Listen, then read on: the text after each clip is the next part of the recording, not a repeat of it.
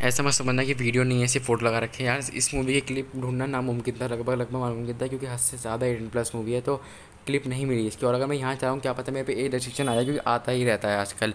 लेकिन छोड़ो, मैं सीधे मुद्दे बात हूँ मूवी मूवी का नाम है अमोरस जो कि है हाइड एंड सीक मतलब चार जने हैं, दो लड़की, दो लड़के। तो वो लोग अपनी दुनिया में इतने ज़्यादा परेशान हो चुके हैं अपनी लाइफ में तो वो लोग सोचते हैं कि हम त्याग लेते हैं इस दुनिया से। और जो है ना, एक अलग ही घर ले लेते हैं। वो चारों फ्रेंड्स होते हैं। घर ले लेते हैं मतलब एक जंगल के बीच में, जंगल के इतनी पार्क वगैरह के बीच में बोनियार्ड की तरह एक अपना घर बनवा लेते हैं और वो उसमें रहना स्टार्ट कर देते हैं। अब उसमें क्या है, कोई भी लड़का किसी के भी साथ कुछ भी, कभी भी किसी के भी वक्त कर सकता है, क्योंकि चाहे तो जन है। और ये लोग रात को कुछ ना कुछ इंटरेस्टिंग चीज़ ज़रूर करते हैं। लाइक इंटरेस्टिंग चीज़ का मतलब है, रात को एक लड़का किसी को भी डेयर दे सकता है मतलब एक व्यक्ति चारों में से किसी को भी डेयर दे सकता है और उसे वो करना ही पड़ेगा। आपको ऐसा जानने वो डेयर नहीं है, लेकिन हाँ जान भी जाती है इसमें। वो कैसे, मैं आपको आगे बताता हूँ। अब ऐसे चलता रहता है इसमें और इसमें ऐसे सीन भी हैं जो कि मैं यहाँ नहीं चला सकता तो इसमें मैंने फ़ोटोज़ लगाए और लड़की लड़की के साथ लड़का लड़के के साथ ऐसा भी हो रहा है, कोई दिक्कत है ही नहीं यहाँ पे। मतलब ये लोग मिले ही सिर्फ़ इस काम के लिए, बस घूमते हैं, घामते हैं, दिन भर पार्क में घूमते हैं, दुनिया में घूमते नहीं, क्योंकि दुनिया से इन्होंने त्याग के रखा है और घर में रहते हैं, खाते हैं, पीते हैं और रातों कुछ ना कुछ डेयर लेते हैं और ये सब करते हैं। और ऐसे करते करते इनकी कुछ वक्त कट रहा होता है, फिर इनका एक दोस्त आ जाता है। इनका दोस्त ने मतलब एक लड़की का दोस्त होता है और वो आ जाता है और बोलता है कि क्या मैं तुम्हारे साथ यहाँ पर रह सकता हूँ? तो वो बोलते हैं, नहीं, ये ये जो जगह है, ये दुनिया भी लोगों के लिए नहीं तो वो सोचता है कि दुनिया भी लोगों के लिए नहीं है डर जाता है। वो कहता है, नहीं नहीं तो वो उसे शॉर्ट में समझा देते हैं कि हमने ऐसे ऐसे दुनिया को छोड़ दिया है और हम यहाँ पे अकेले में रहना चाहते हैं प्राइवेसी चाहते हैं स्पेस चाहते हैं। तो बोलता है, ठीक है, लेकिन क्या मैं आज रात को यहाँ पर रुक सकता हूँ?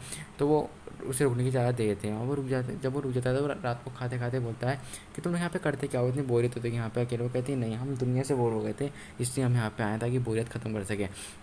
और तुम चाहो तो रात को कर सकती हो। जो राइट पर लड़की बैठी है, ये उस लौंडे के साथ कुछ करना चाहती है कि लौंडा करता नहीं है, क्योंकि उसे पसंद नहीं है। ये सब, ये जो लोग कर रहे हैं, जॉनी मियाँ वाला, इनको ये सब लड़के को पसंद नहीं आता है। लेकिन लड़का कहता है कि हाँ मैं डेयर वाला ज़रूर खेलूँगा। अब लड़के को डेयर मिलता है। अब लड़के का डेयर क्या होता है कि वो वो तीन जने छुपेंगे, क्योंकि फ़िल्म का नाम सीख है। चारों जने छुप जाएँगे और आपको ढूंढना है।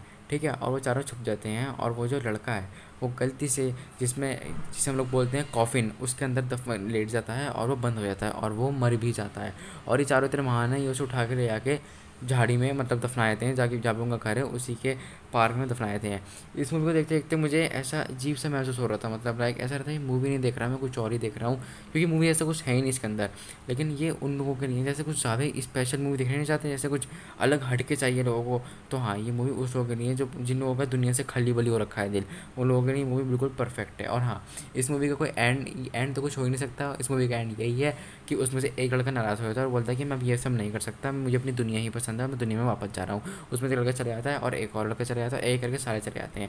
मतलब इस मूवी से ये समझाने की कोशिश की गई है दुनिया को कि ऐसा मत सोचो कि मतलब दुनिया ख़राब है, ये हो चुका है, वो हो चुका है। मैं यहाँ पे ज्ञान नहीं दे रहा हूँ, ऐसे मूवी दिखाया गया है। ऐसा मत सोचो, जो हो रहा है होने दो और लाइफ को सही से जियो, क्योंकि सबके साथ, सबके बीच में रह के जो लाइफ है, वही लाइफ है। आखिरी कोई लाइफ ही नहीं है, अकेले में रहने की कोई ज़िंदगी है ही नहीं। और इसी मूवी में यही समझाया गया है। लड़का नाराज़ इसलिए होता है और इसमें यार गाइस इतने ज़्यादा एडल्ट सीन है ना मतलब हद से ज़्यादा। कोई वो ही नहीं है मतलब ऐसा लगता है ऐसे कोई ब्लू फ़िल्म चल रही है यहाँ पे, कोई एडल्ट फ़िल्म चल रही है एडल्ट सीन चल रहा है यहाँ पे। तो हाँ ये मूवी उन लोगों के लिए भी है, जिनको शौकीन है रात को ये मूवीज़ देखने के तो हाँ उन लोगों के लिए मूवी स्पेशल है। और अगर समझना है ना मतलब तो हाँ मेरी पिछली वाली मूवी जाकर देखना और उससे पिछली वाली भी वीडियो जाकर देखना अगर बेहतरीन सी मूवीज़ देखनी है तो। तो वो पिछली वाली वीडियोज़ आप ही के लिए बनी है। और इस वीडियो को ख़त्म करते हैं यहाँ पे, क्योंकि फ़िल्म बहुत शॉर्ट थी, एक सब घंटे की मूवी और मैंने उसे और भी शॉर्ट में समझाया है। तो हाँ तो यार वीडियो अच्छी लगे तो लाइक कर देना, और मूवी ज़रूर देखना, मैं रिकमेंड करूँगा, फिर भी सही है मूवी ठीक है? और बाय यार चलता हूँ मैं भी।